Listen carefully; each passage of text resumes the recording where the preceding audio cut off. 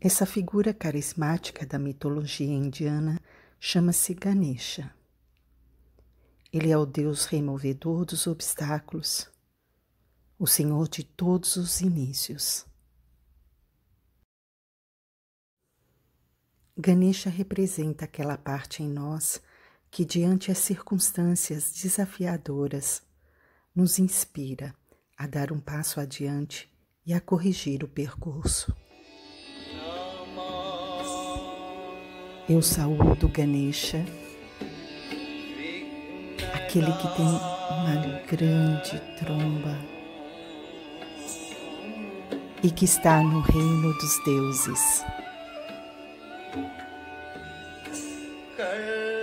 Eu vejo uma árvore sinuosa e frondosa com uma grande copa e procuro Ganesha em todos os lugares e encontro ele ali, sentado, debaixo dessa árvore, segurando um par de lótus.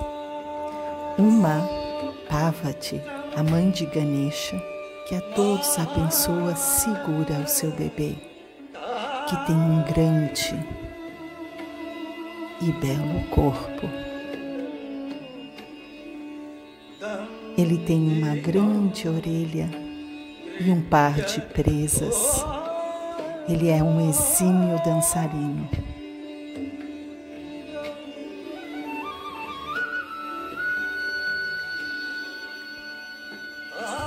Shiva é o pai de Ganesha.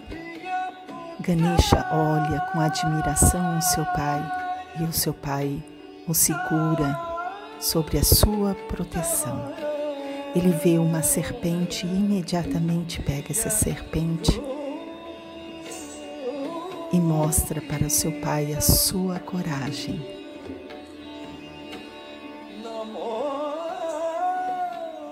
Eu saúdo esse Ganesha que é o centro e o objeto da minha meditação.